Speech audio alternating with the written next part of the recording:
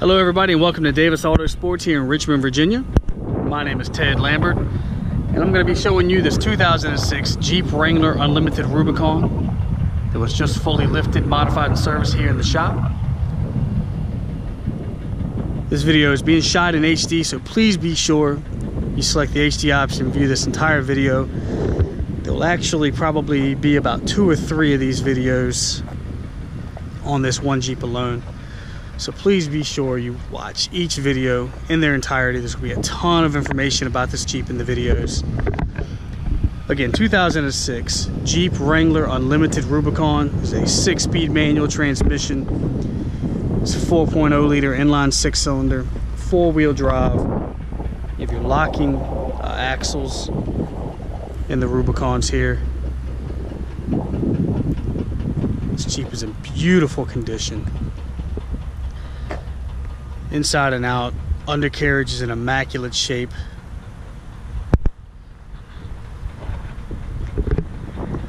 They only made these Unlimiteds in 2004, 2005, and 2006, the two-door Unlimiteds.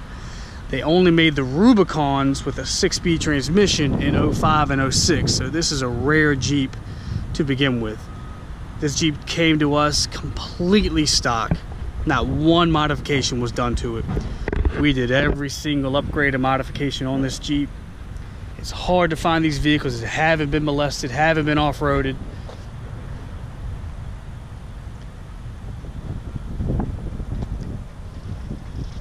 It's a great color. This tan goes great with all the black on it.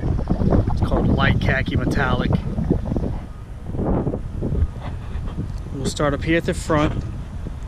You have a brand new Smittybilt XRC winch bumper with the bull nose or the stinger bar. It's your textured finish. It goes great with the flares that we Kevlar, which we'll get to that later. You have your heavy duty quick disconnect D-rings and they're on the front and the back. You have a brand new Warn.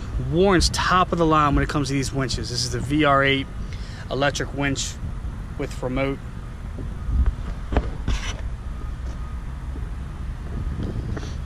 Here on your bull bar, we have brand new ARB brand. These are IPF fog lights with 100 watt fog light bulbs. Uh, these are run directly into your factory switch, so no additional uh, switches inside. Ran directly to your factory factory switch. All of your connections are soldered they're heat shrunk, as you can see. The lines are wire loom, professionally ran. They're hidden, they're out the way. They look great. We do it a lot of our Jeeps that we lift and modify. These front lenses, we take them off, we scuff them. then we mix a little bit of black and some clear coat. We spray it on, gives it a nice tinted look.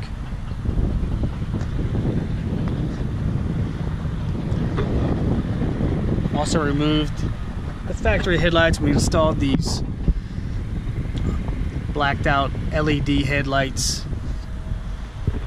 They look awesome. Very, very bright. And they are DOT approved as well. We also, these chrome headlight bezels, we take those out, we scuff them, and they blacken those out. Just kind of ties the look all together. A big chrome ring right there around your headlights would not go with the theme of this Jeep.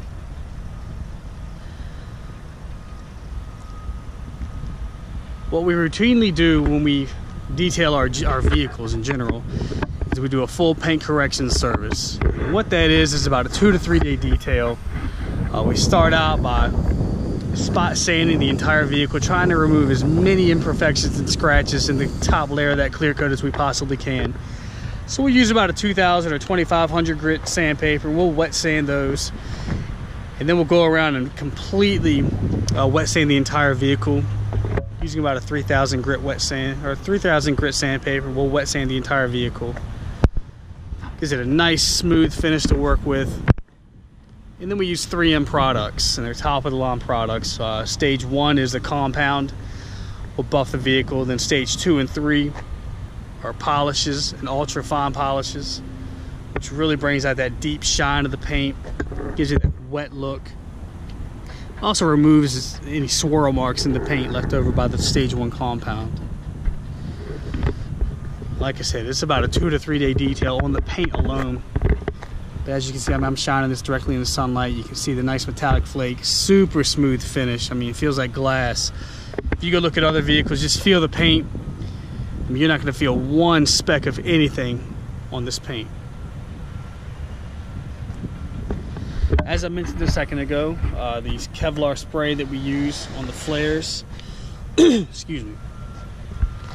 A lot of your flares, if you're looking at other Jeeps, a lot of these flares are chalky, they're faded, they're almost gray looking. Does not look good at all, especially if you add new stuff on the vehicle and you leave the flares the way they are. So what we do is we re remove these flares off the vehicle, we scuff them down, so we sand them completely down. So there's no oils or anything left in them. Then we surface prep them and then we mix this uh, solution, hook it up to our air hose, and we spray it on. It's not that easy as well. Uh, over time, we've gotten really good at it. A lot of these uh, spray on materials, these Kevlar sprays, they can get really kind of gloopy or glumpy as you can see, a nice even spray all the way around. A lot of times you have different textures and different consistencies, but like I said, we've been doing this for years now. Comes out looking amazing. Gives a nice rugged look, doesn't fade.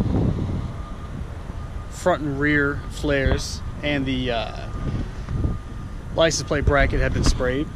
Over here on the side, brand new heavy duty rocker guards with your step bar.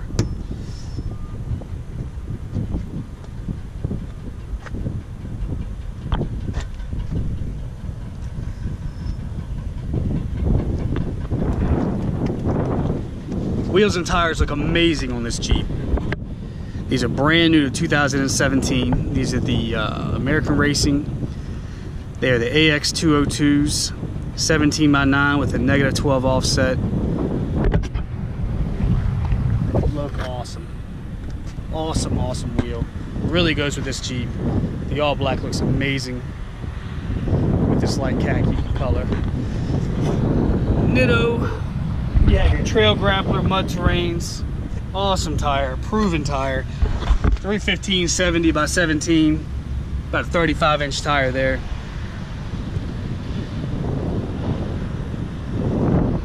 Body's in great shape of this Jeep all the way around. No damage to speak of. May have a dent or a ding in one of your panels, but I don't see them looking down this section of the body. You have your full hard doors, which are fully removable. Your factory hardtop, that's very rare to have an unlimited with the factory hardtop, especially in this dark khaki color.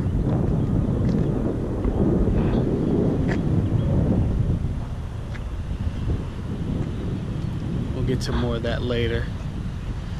Mirror housings are very, very clean. This isn't Armor All or any kind of shine. Uh, when we're buffing the vehicles, we just add some compound to that. Use the, the uh, machine buffer, and it really brings out the shine of those mirror housings.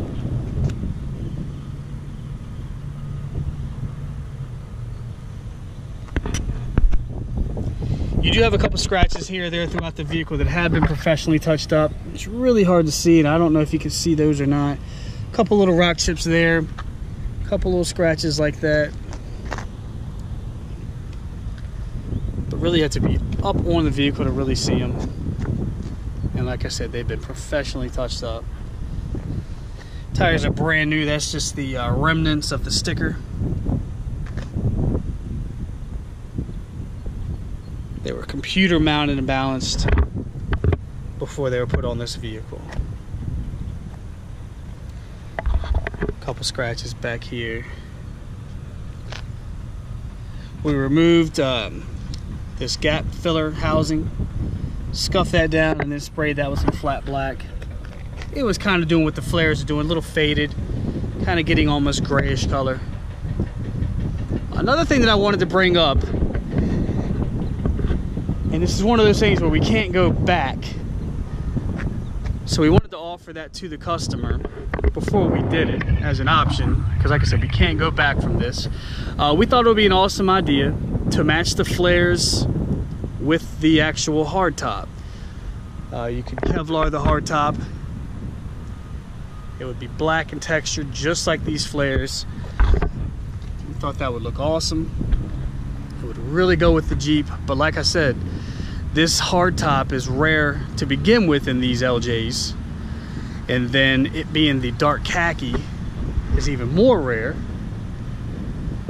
And the dark khaki does go with the Jeep as well. Kind of gives it that safari look.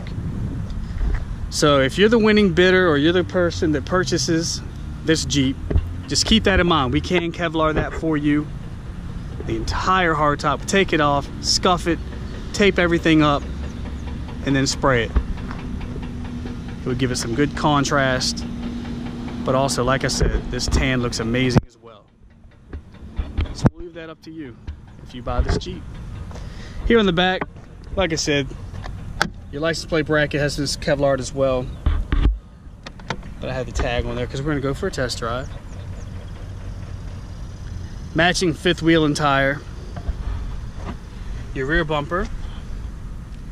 You have your quick disconnect D-rings. You do have your tow hitch. You also have wires for, if you're going to tow a trailer, there are wires up in there as well. So no additional wiring would need to be done. Take out your pin, pop that up.